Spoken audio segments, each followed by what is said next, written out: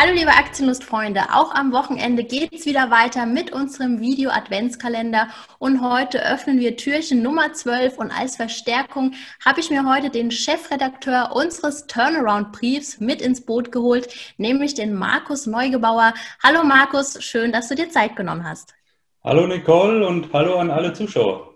Ja, Markus, du hast dich ja vor vielen Jahren schon in deiner Zeit als Analyst und Redakteur der Plato-Börse mit dem Thema Value Investing und Turnaround Investments beschäftigt. Das heißt, schnelle Trades oder Charttechnik spielen für dich bei Investments weniger eine Rolle. Erzähl doch mal, was genau ist deine Strategie? Also meine Strategie, Nicole, ist ganz einfach die, dass wir versuchen, äh, Aktien unter dem wahren Wert zu kaufen. Das heißt, wie es Buffett so schön sagen würde, den Euro für 50, 30, 20 Cent zu kaufen. Das ist natürlich immer das Idealszenario.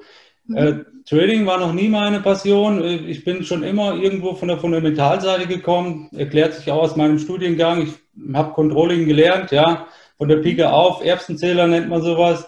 Und im Endeffekt, ja, werden von uns die ganzen Bilanzen gecheckt, ja, bis mhm. und mit dem Vorstand auch mehr oder weniger dann auch abgestimmt. Ich will auf jeden Fall auch das Management kennenlernen, bevor ich in irgendeine Aktie reingehe. Und äh, das hat uns in den letzten Jahren eigentlich auch ganz gute Performance auch beschert. Mhm.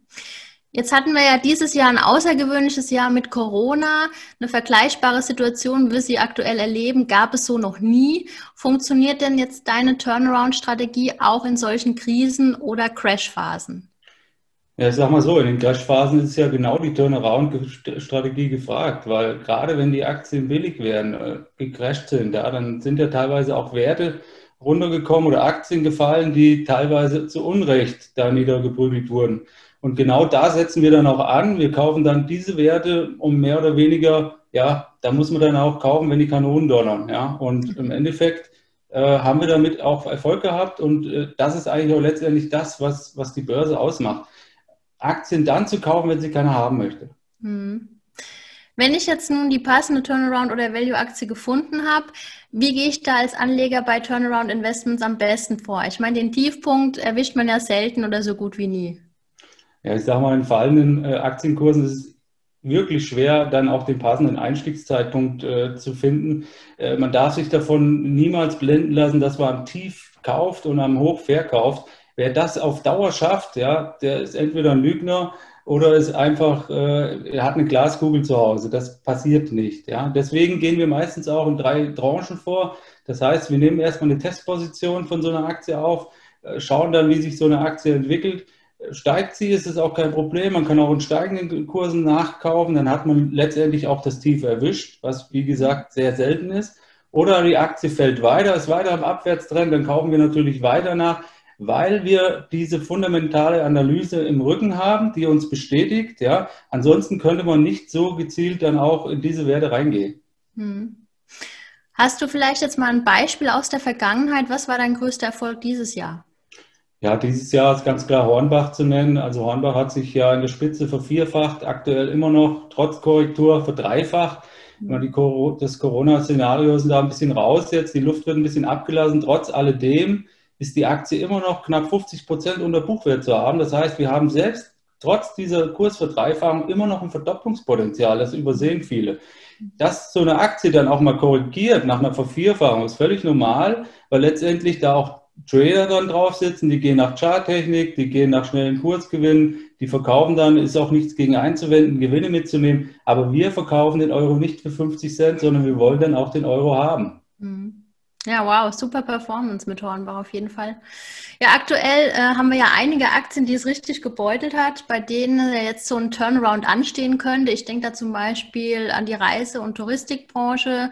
Wie sieht es denn zum Beispiel aus mit Booking, Expedia oder sogar TUI?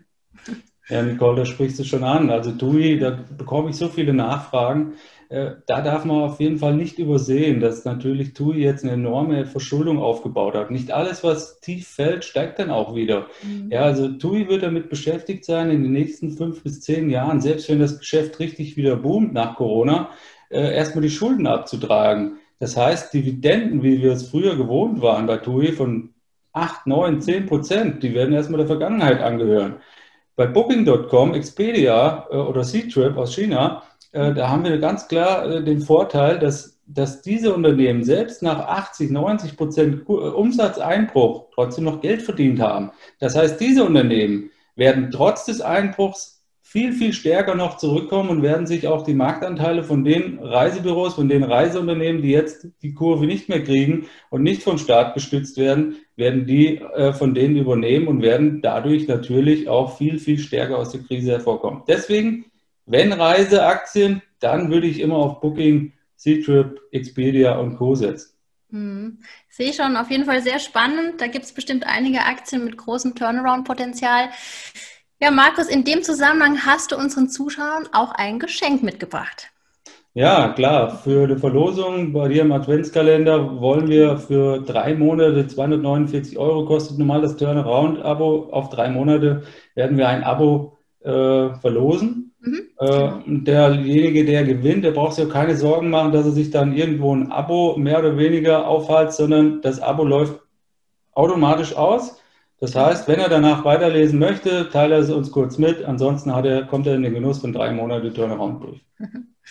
Ja, danke Markus. Ganz tolles Geschenk, was du da für uns mitgebracht hast. Danke auch für deine Infos zum Turnaround-Brief und für das kurze Interview. Ja, wenn ihr also drei Monate lang den Turnaround-Brief gewinnen möchtet, dann liked das Video bzw. den Beitrag, abonniert unseren YouTube-Kanal und oder folgt mir auf Instagram und schreibt diesmal in die Kommentare, welche Strategie verfolgt ihr denn an der Börse? Ist es die Turnaround-Strategie, Buy and Hold, Trendfolge? Ich bin auf jeden Fall auf eure Kommentare gespannt. Genaue Teilnahmebedingungen findet ihr wieder unter dem Video.